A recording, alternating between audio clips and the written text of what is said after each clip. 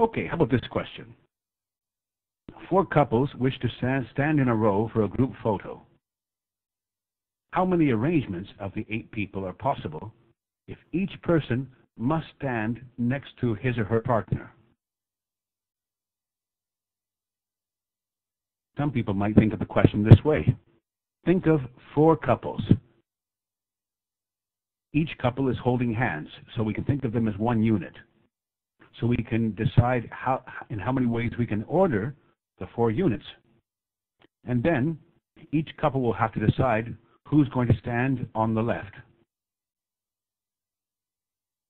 All right, so try to think about the problem that way, and let's see if you can get the answer.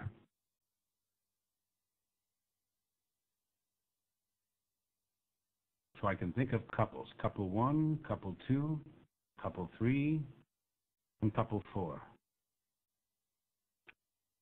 Now, how many ways can I arrange these couples?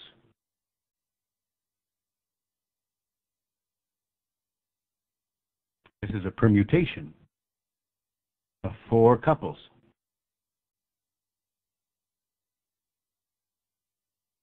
So how many ways can I arrange these couples?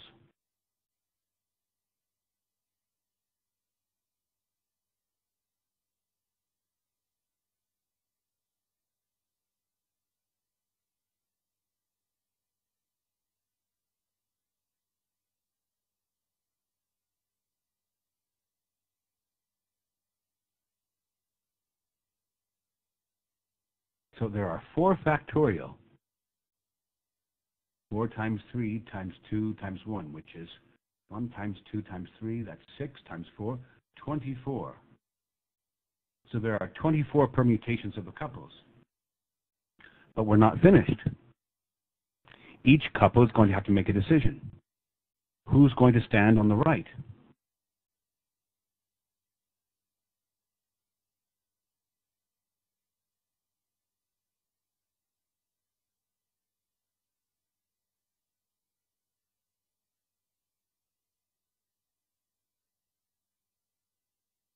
So there are 24 ways to arrange the couples. But then, each couple will need to decide who's going to stand on the right, the man or the woman. So each couple has two ways to make that decision. And so I get 24 multiplied by 16.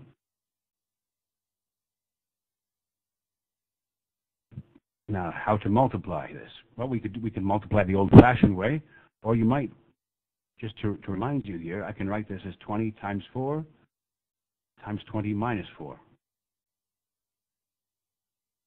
which is 20 squared minus 4 squared. 400 minus 16, 384. Here's another way.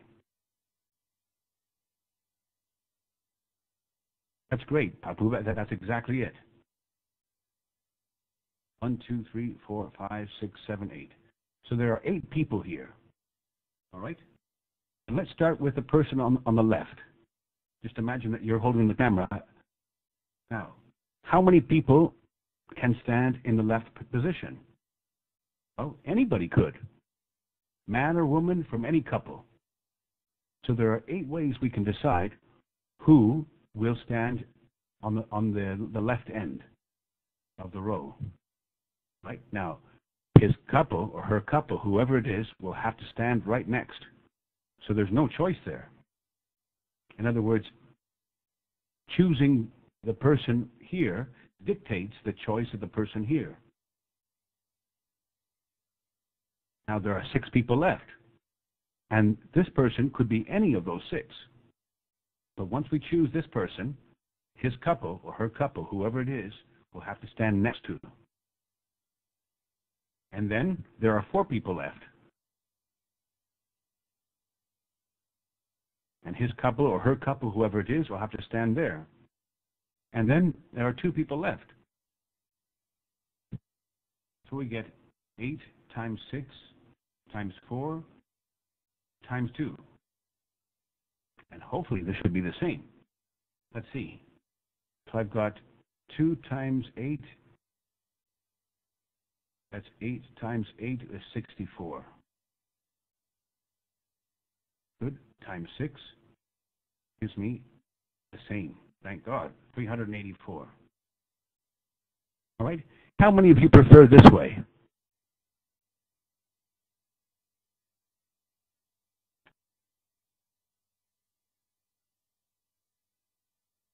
Milik prefers this way. Papu prefers the other. But it, it's good to try to understand both ways. right? There's no better way. There's only a logical way or an illogical way, or one that takes more time or less. And both of these are excellent. And you need to understand both.